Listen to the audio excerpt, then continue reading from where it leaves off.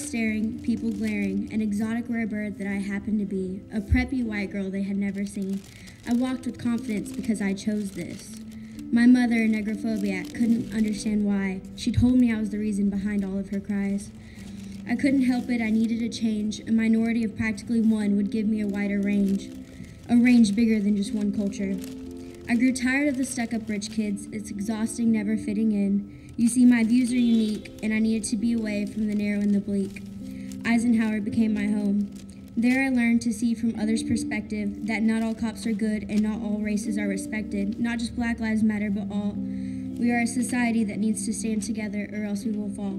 I stand for what's right, not the color of my skin. You can judge me and try to change me, but I promise you'll never win. I stand on equality, equality for all, races, genders, or sexualities, because at the end of the day, in the eyes of God, your sins and my sins are no different at all.